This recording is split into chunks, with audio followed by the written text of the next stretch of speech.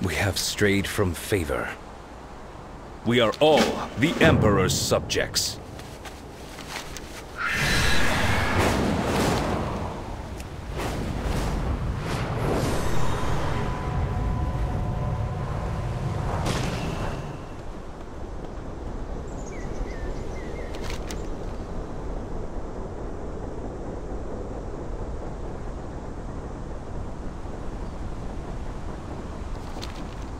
We are the warriors of the sacred flame.